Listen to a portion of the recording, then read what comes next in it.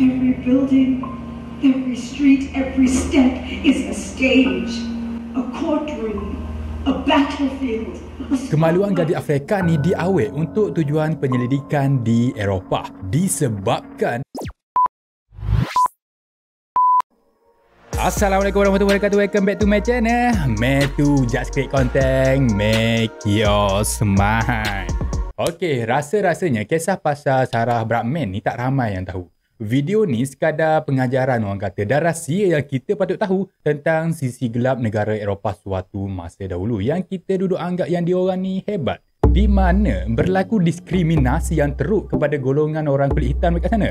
Oleh sebab tu, aku bawakan cerita pasal kisah sedih tragis Sarah Brightman ni. Sebelum aku memulakan video ni, bolehlah support aku dengan klik butang like dan subscribe channel ni. Terima kasih.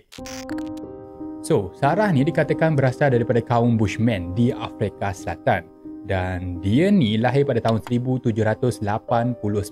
Semasa berumur 2 tahun, ibu dia telah meninggal dunia masa tu. Ayah dia pula bekerja sebagai pembawa kereta lembu yang meninggal dunia semasa dia remaja lagi.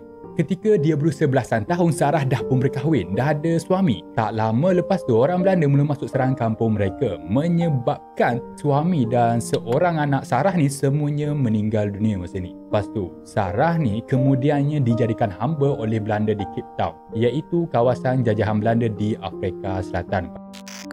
Dekat sini Sarah bekerja sebagai orang gaji bagi keluarga Belanda iaitu Hendrik Caesar. Caesar ni sangat tertarik dengan bentuk badan Sarah ni orang Afrika ni yang katanya lain daripada yang lain terutamanya bahagian punggung dia yang macam tu yang besar macam tu. Caesar pun mula berpakat dengan seorang pakai bedah di atas kapal iaitu nama dia William Dunlop. Untuk membawa Sarah ni pergi ke London, tentulah ada sebab kan. Mereka berdua ni telah pun memujuk Sarah masa ni dengan kata dekat Sarah untuk dia membuat persembahan dekat London. Mereka bagi tahu macam tu. Sarah ni yang tak tahu apa-apa semua ni kan dengan buta hurufnya lagi bersetuju dengan semua benda ni dan dia pada bulan Oktober 1810 dia telah menandatangani kontrak tanda setuju untuk dia dibawa ke London. Masa ni rupa-rupanya mereka berdua ni ingin menggunakan tubuh badan Sarah ni yang pelik ni untuk dapatkan duit bagi mereka macam pertunjukan sirkus. Sarah pada masa tu dipamerkan sebagai wanita paling eksotik dari Afrika untuk tontonan-tontonan orang dekat London. Yang sedihnya lagi Sarah ni dilayan macam binatang. Dia diletakkan di dalam kandang. Lepas tu kena buat-buat berlakon macam binatang yang ganas nak tarik view, nak tarik penonton ramailah orang yang datang nak tengok Sarah masa ni. Ada yang kagum dan ada juga yang pelik dengan tubuh badan Sarah yang macam ni. Sebab dia orang ni tak pernah tengok orang Afrika yang macam ni. Lagi-lagi dengan punggung besar macam tu. Nak bagi penonton ni teruja lagi tengok Sarah ni, para penonton semua ni dibenarkan untuk menyentuh punggung Sarah yang besar tu. She is very traumatized, actually. Sarki is very traumatized. That's what she's experiencing. And when she gets triggered to remember her traumas, she takes on the character of the people who've traumatized her and relives the trauma again. Walaupun Sarah sedih dengan nasib dia yang macam ni Tapi dia makin hari makin berduit. Hasil daripada pertunjukan show dia apa semua tu. Tak lama lepas tu Sezar ni dan Dulop tadi ditahan kerana dituduh Di atas kes memperdagangkan hamba abdi Dengan segala macam yang mereka buat dekat Sarah tu. Sarah diperlakukan macam binatang Semasa perbicaraan mereka membantah semua benda ni kerana Sarah ada sign kontrak untuk show yang mereka buat dekat London. Suruh orang yang tak tahu membaca, tak tahu menulis apa semua ni tanda tangan boleh lah kan. Tambah pula masa tu ketika tu Sarah ni dengan takutnya mengiyakan semua perkara tersebut. Yang dia mengaku yang dia rela buat benda macam tu kan depan hakim dia cakap macam tu. Hasilnya dekat sini mereka ni dibebaskan dengan syarat larangan untuk buat show persembahan dekat seluruh England. Setelah 4 tahun duduk tinggal dekat London ni, Seza dengan Dunlop tadi tak boleh nak buat duit hasil daripada Sarah ni. Populariti Sarah pun dah mula drop akibat kes mahkamah dia yang sebelum ni. Kemudiannya, pada tahun 1814, Seza ni ambil keputusan untuk bawa Sarah ni pula ke Paris. Sarah kemudiannya dijual oleh Riau. Riau ni pula salah seorang host seka haiwan dekat sana dekat dengan Perancis tu. Masa dekat tangan Riau, nasib Sarah ni makin teruk. Kali ni Sarah ni kena buat pertunjukan depan kalangan orang-orang ternama. Sarah akan dibogilkan setiap kali pertunjukan. Golongan VIP apa semua ni sangat teruja untuk tengok alat sulit orang Afrika ni yang dikatakan besar berbeza dengan orang lain. Dia digelar dengan nama Hotated Venus. Yang sedihnya lagi bermula dekat sini di atas persetujuan Riau, Sarah ni mula melakukan aktiviti seks dengan orang yang obses dengan tubuh badan wanita Afrika ni.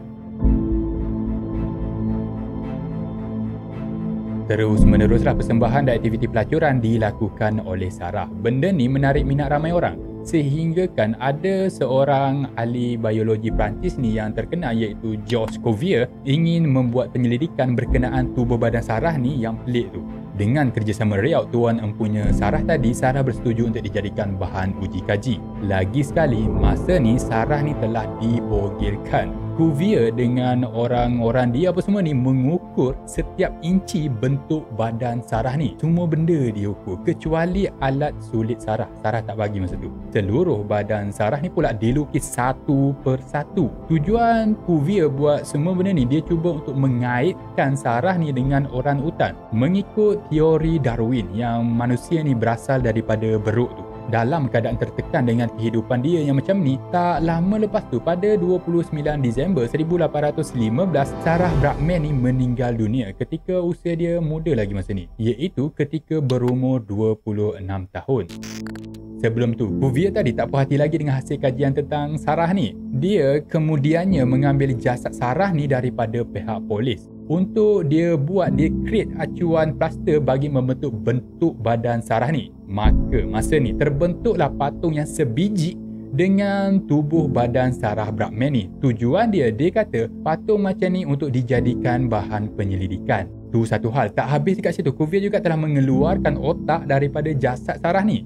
Dan dia telah melapah alat sulit Sarah yang besar tu untuk disimpan di dalam balang yang berisi cecair bagi tujuan penyelidikan. Akhirnya, patung, tulan dan organ-organ sarah yang lain semuanya ni ditempatkan di sebuah muzium di Paris. Setelah beratus tahun ditempatkan di muzium macam ni, Nelson Mandela yang memenangi pilihan raya di Afrika Selatan pada tahun 1994 dia telah menggesa kerajaan Perancis masa tu untuk memulangkan balik jasad Sarah ni ke tanah air dia dekat dengan Afrika Selatan tu. Maka pada tahun 2002 Sarah Bragman ni disemadikan di Afrika Selatan dengan segala macam penghormatan oleh kerajaan Perancis dan kerajaan Afrika Selatan. Setelah 192 tahun Sarah Bragman ni berangkat pergi ke Eropah, barulah jasad dia tu yang dah mati tu barulah balik ke Afrika Selatan. Apa pendapat korang tentang Sarah Bragman ni? Boleh komen dekat bawah tu kan.